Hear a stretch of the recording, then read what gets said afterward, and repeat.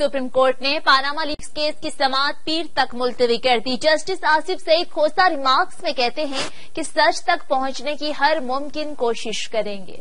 Justice Asif Saeed खोसा की सरबराही में supreme court के पाँच रुकनी लार्जर बेंच ने पानामा लीक्स केस की समात की। दौरान समात इसहाक डार और मरियम नवाज़ के वकील शाहिद हामिद ने अदालत में मरियम नवाज़ की आमदनी, जायदाद और टैक्स की तफसीलात जमा करवाई। शाहिद हामिद ने कहा कि वज़ीर आज़म के खिलाफ इलेक्शन कमीशन में चार रेफरेंसेज जेर समात हैं, जबकि इसहाक डार और कैप्टन सफदर के खिलाफ भी दरख्वास्तें जेर अल्तवा हैं। इमरान खान की जानब ऐसी शरीफ फैमिली के मालियाती मुशीर हारून पाशा का इंटरव्यू बतौर सबूत अदालत में जमा कराया गया और इंटरव्यू को अदालती रिकॉर्ड का हिस्सा बनाने की इस्तः की। इमरान खान के वकील नईम बुखारी ने दलाइल में कहा कि मरियम नवाज़ के नाम से उन्नीस सौ तिरानवे ऐसी उन्नीस सौ छियानवे के दरमियान फ्लैट्स खरीदे गए। उस वक्त मरियम नवाज़ कम उम्र थी। दुनिया को दिखाने के लिए मरियम सफदर को बेनिफिशरी ज़ाहिर किया गया। दुबई में भी बेनामी स्टील मिल लगाई गई मरियम नवाज़ ऑफशोर कंपनियों की बेनिफिशियल मालिक हैं। 2011 में मरियम नवाज़ ने चौधरी शुगर मिल ऐसी चार करोड़ तेईस लाख, जबकि 2012 में अपने भाई हसन नवाज़ ऐसी दो करोड़ उनासी लाख रूपए कर्ज लिया। 2013 में फिर वालिद ने तीन करोड़ ऐसी जायद की रकम बतौर तोहफा तोहफा दी। जस्टिस एजाज अफजल ने रिमार्क्स में कहा कि आपकी बात से मरियम के जेर कफालत होने का मामला वाजे नहीं होता। उन्होंने इस्तफसार किया कि लंदन फ्लैट्स मरियम नवाज़ को कब और कैसे मुंतकिल हुए। क्या मरियम को जायदाद मुंतकिली का कोई दस्तावेजी सबूत है? क्या कोई ऐसी दस्तावेज़ है जिससे साबित हो कि 2006 की ट्रस्ट डीड गलत है?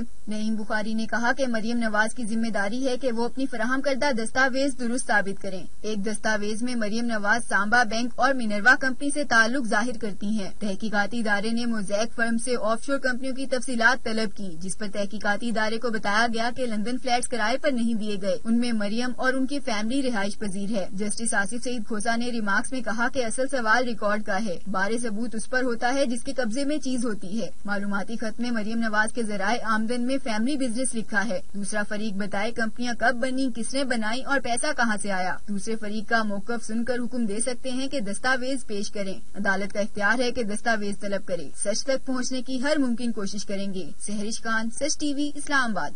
वज़ीर